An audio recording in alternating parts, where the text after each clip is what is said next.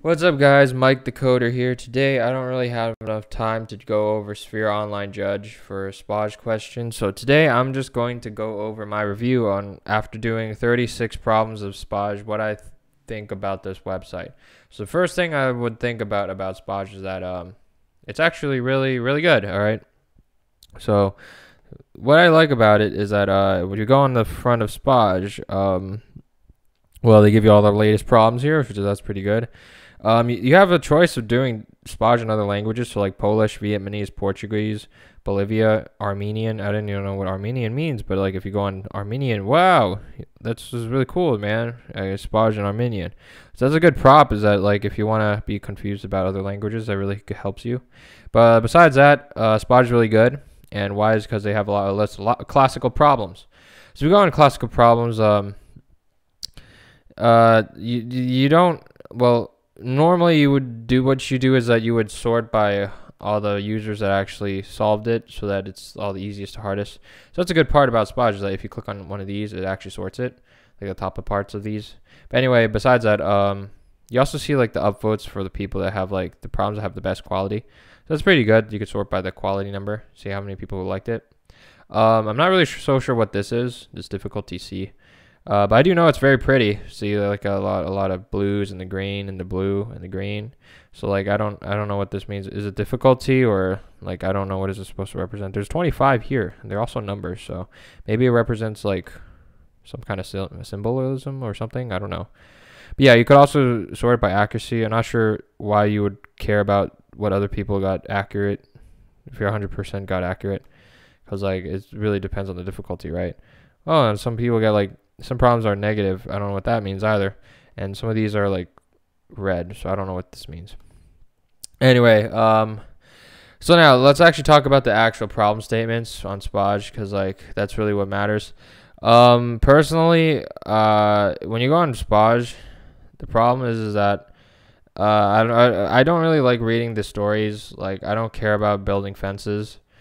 So that's that's the thing. Uh, another thing like there's like anti-blot system. I don't really care about Jimmy in his second year at primary school and what I have to do. I kind of just want to just write the algorithms to be honest, but hey, the good thing about Spoj is that you have good stories. So like if you enjoy like reading stories, this is a good good to learn about because it's good learn about algorithms because like you learn about uh, reading stories about multiple people. I mean, I mean learning about Jimmy on with his fence problem and also about aggressive cows it really helps you. You know, sometimes uh, stalls you need to figure figure out how to stop these aggressive cows from affecting Jimmy.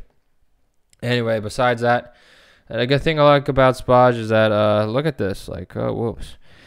Sometimes the problems, the pictures of the problem statements are just uh, they they're not very helpful. Like, uh, I don't really know how am I supposed to like, you know, give the cards for this this is this, is, this isn't really 100% helpful for like the next next pyramid I'm supposed to build. Um, like sometimes pictures like this doesn't really help you at all.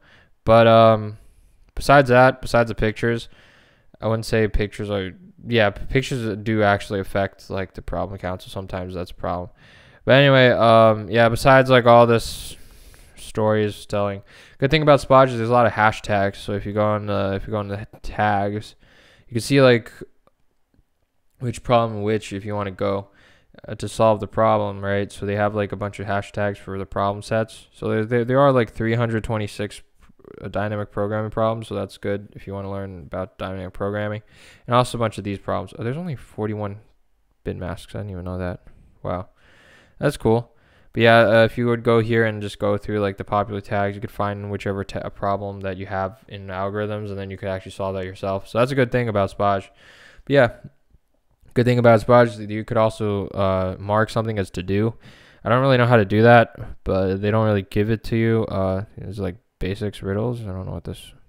Oh, so you have like basic problems also. They also have riddles. I didn't even know that. Let's let's go on riddles. Kill me instantly. Huh. Okay, that's a cool riddle.